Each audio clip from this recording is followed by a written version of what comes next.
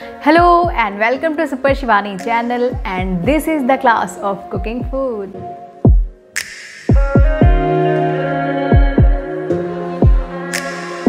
सबसे पहले हम यहाँ पर एक मिक्सिंग बोल ले लेंगे और इसमें हम ऐड करेंगे दो कप मैदा। आप इसे गेहूँ के आटे से भी प्रिपेयर कर सकते हैं। वन टीस्पून हम यहाँ पर डालेंगे सॉल्ट यानी कि नमक। हाफ़ टी स्पून हम ऐड करेंगे यहाँ पर बेकिंग सोडा और वन टीस्पून यहाँ पर हम ऐड करेंगे बेकिंग पाउडर और इसके बाद हम यहाँ पर वन टेबल स्पून यहाँ पर ऐड करेंगे पाउडर शुगर आप यहाँ पर नॉर्मल चीनी का भी इस्तेमाल कर सकते हैं। ये पिसी हुई चीनी है। और इसके बाद वन टेबल स्पून यहाँ पर हम ऐड करेंगे हनी यानी कि शहद. इसे ऐड करने से हमारी जो डो का वो फर्मेंटेशन है वो ज़्यादा तेज़ी से होता है, इसलिए आप इसे ज़रूर ऐड करें। और इससे हल्की सी मिठास भी आ जाती है। तो इसे हम एक बार अच्छे से मिक्स कर लेंगे। और इसके बाद हम यहाँ पर एक बड़ा चम्मच रिफाइंड ऑयल ऐड करेंगे। अब हम इसमें दही को मिक्स करके इसे अच्छे से नीट करेंगे, क्योंकि हम इसे बिना ईस्ट के बना रहे हैं तो इसलिए यहाँ पर हम दही का इस्तेमाल करेंगे।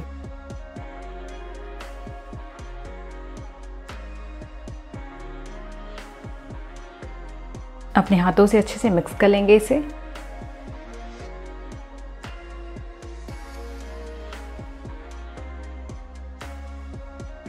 आप देख सकते हैं, मैंने यहाँ पर डो को स्टिकी बनाया है। आपको भी ऐसे ही बना लेना है। और अब हम इसमें फिर से रिफाइंड ऑयल ऐड करेंगे और इसे अच्छे से चिकना कर लेंगे।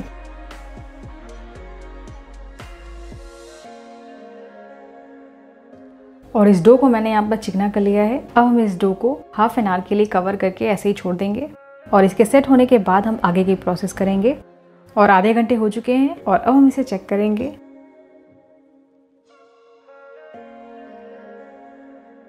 कुछ इस तरह हमारा डो हो गया है यहाँ पर।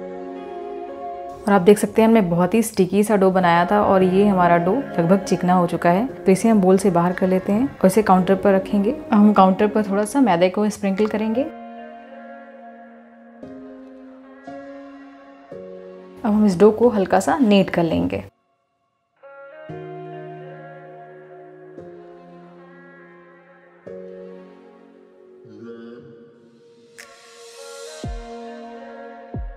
अब हम साइज़ के अकॉर्डिंग इसे उतने ही पोर्शन में डिवाइड करेंगे। अगर आप बड़े साइज़ का यहाँ पर कुछ भी बनाना चाहते हैं तो यहाँ पर आप इसे टू पोर्शन में डिवाइड करेंगे। और अगर आप छोटे साइज़ के बनाने चाहते हैं तो आप इसे फोर पोर्शन में कट कर लेंगे। तो अब हम इसे फोर पोर्शन में कट कर लेते हैं।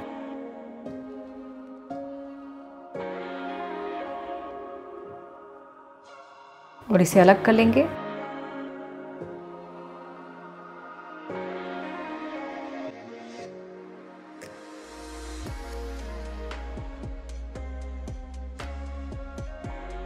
आप देख सकते हैं, चार पोर्शन में मैंने डिवाइड कर लिया इसे। अब हम बाकी के रख देते हैं और एक को हम रख लेंगे अपने पास। बाकी को हम कवर करके रख देंगे ताकि ये ड्राई ना हो किसी भी बोल में।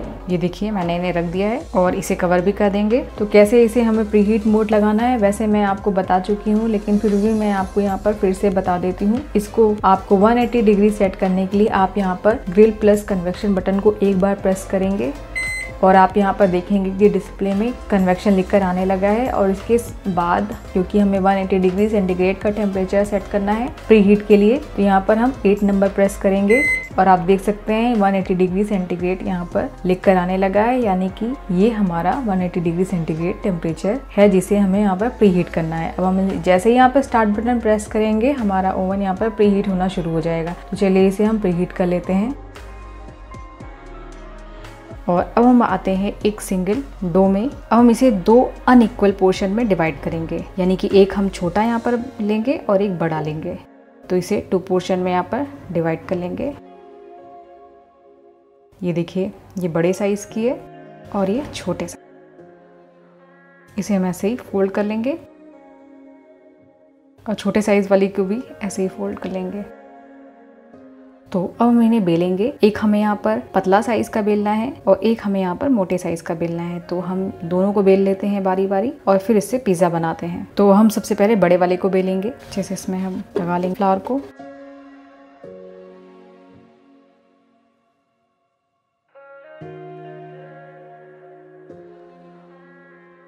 तो आप देख सकते हैं मैंने यहाँ पर बड़े साइज़ का बेल लिया है इसे। तो अब हम इसे इस बेकिंग डिश के ऊपर रख लेंगे।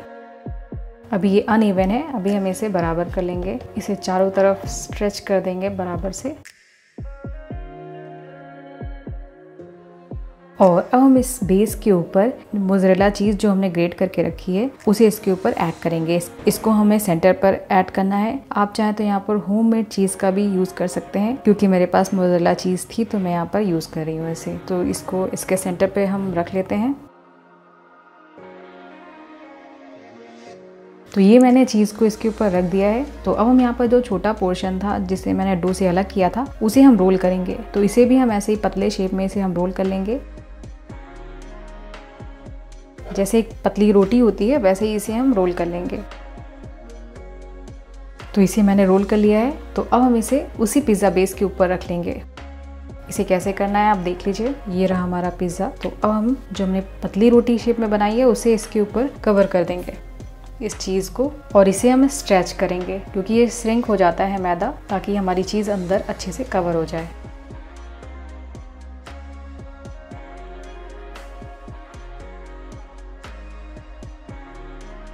तो ये देखिए, मैंने चीज़ को इसमें अच्छे से कवर कर दिया है और इसे एक बार अच्छे से प्रेस कर देंगे ऐसे।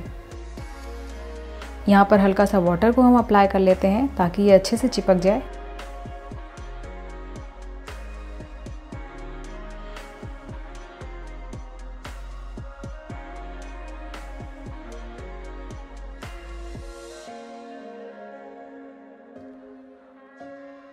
तो आप देख सकते हैं, मैंने इसे अच्छे से फोल्ड कर दिया है। हमारा चीज़ बस पिज़्ज़ा का जो पिज़्ज़ा बेस है, वो अच्छे से तैयार हो गया है। तो अब हम इसमें जैसे बाकी सारी टॉपिंग करते हैं, वैसे ही करेंगे। आपके पास जो भी वेजिटेबल हो, आप यहाँ पर टॉपिंग कर सकते हैं। तो इसे टॉपिंग कर लेते हैं। एक चीज़ का आपको ध्यान रखना है यहाँ पर, आपको यहाँ पर इस पिज़्ज़ा बेस में ऑयल या बटर अभी नहीं अप्लाई करना है। अगर आप इसमें ऑयल या बटर अप्लाई कर देंगे तो ये पकने से पहले ही इसका क्रस्ट जो है, वो ब्राउन होने लगेगा। इससे क्या होगा, आपका पिज़्ज़ा बेस क्रिस्पी होने से पहले ही इसके क्रस्ट जो है ब्राउन होने लगेंगे।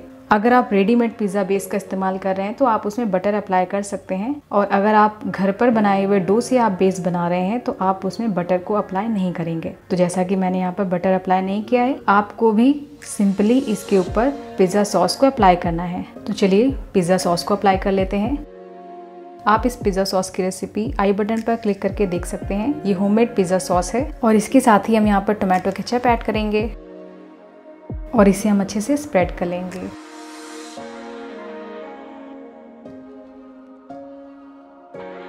और फिर से हम यहाँ पर चीज़ ऐड करेंगे।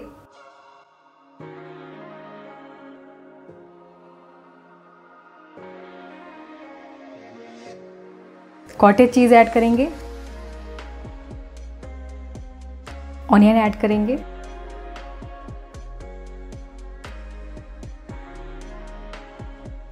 इस साइड हम दूसरे शेप में कटे हुए ऑनियंस को रखेंगे ताकि थोड़ा डिफरेंट सा हमारा पिज़्ज़ा लगे देखने में। और अब हम स्वीट कॉर्न से ऐड करेंगे।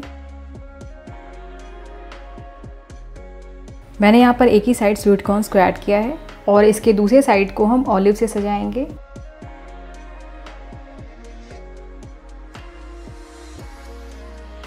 चीज़ स्प्रिंकल कर देंगे।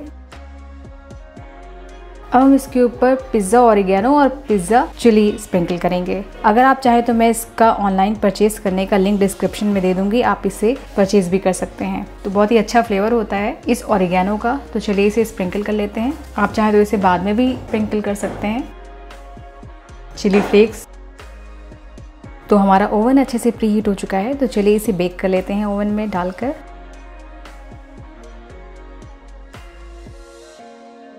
इसे बेक करने के लिए हम सबसे पहले यहाँ पर ग्रिल प्रेस कन्वेक्शन बटन को एक बार प्रेस करेंगे। अगर आपके ओवन में कन्वेक्शन मोड है तो आप इसे कन्वेक्शन मोड पर बेक करें। क्योंकि इस ओवन में केवल ग्रिल प्लस कन्वेक्शन मोड है तो इसे हम ग्रिल प्लस कन्वेक्शन ऑप्शन यहाँ पर सेलेक्ट करेंगे। तो इसे हम एक बार प्रेस करेंगे। पिज्जा के लिए 180 डिग्री सबसे बेस्ट टेम्परेचर होता है। तो यहाँ पर 180 डिग्री हम सेलेक्ट कर लेंगे। आप केवल कन्वेक्शन मोड पर ही इसी टेम्परेचर को सिलेक्ट कर लेंगे। बस टाइम आप थोड़ा इंक्रीज कर सकते हैं ग्रिल प्लस कन्वेक्शन मोड के कंपैरिजन में। अगर आप ग्रिल प्लस कन्वेक्शन मोड पर पिज्जा को बेक करते हैं, इससे जो हमारी वेजिटेबल्स हैं, वो अच्छे से ग्रिल हो जाती हैं। तो इसलिए आप यहाँ पर ग्रिल प्लस कन्वेक्शन मोड पर ही पिज्जा को बेक करेंगे। तो उससे हमारा पिज्जा बहुत ही अच्छा बेक होगा। आप इसे कन्वेक्शन में भी बेक कर सकते हैं। तो अब हम यहाँ पर टाइम सेट करेंगे। और यहाँ पर हम टाइम यहाँ पर 10 से 12 मिनट सेलेक्ट करेंगे। यानी कि 12 मिनट हम एंटर कर देते हैं। फिर उसके बाद हम इसे नीड के अकॉर्डिंग इसे चेक कर लेंगे और इसे बाहर निकाल लेंगे। तो वन प्रेस करेंगे, टू, ज़ीरो ज़ीरो। आप देख सकते हैं मैंने 12 मिनट का यहाँ पर टाइम सेट किया है। आप भी ऐसे ही टेम्परेचर को सेट कर ले। लगभग इसी टेम्परेचर पर आपका जो पिज़्ज़ा है वो अच्छे से बेक हो जाएगा और इसका जो पिज़्ज़ा बेस है वो भी अच्छे से कुक हो जाएगा। तो अब हम स्टार्ट बटन प्रेस करेंगे और इस पिज़्ज़ा को अच्छे से बेक कर लेंगे। अगर आप इसे केवल कन्वेक्शन मोड पर बेक कर रहे हैं तो आप इसे दो से तीन मिनट टाइम को इंक्रीज कर लें, यानी कि आप 12 से 15 मिनट इसे आप बेक कर लेंगे।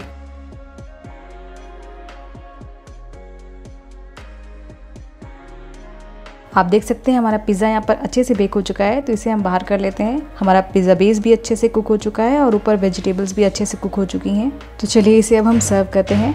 जैसा कि आप देख सकते हैं, हमारा पिज़्ज़ा बेस यहाँ पर अच्छे से कुक हुआ है। बहुत लोग कह रहे थे पिज़्ज़ा बेस हमारा लोअर साइड से अच्छे से कुक नहीं होता है तो मैं पलट के आपको दिखा देती हूँ। ये देखिए, बहुत ही अच्छे से कुक हुआ है ये हमारा पिज़्ज़ा बेस।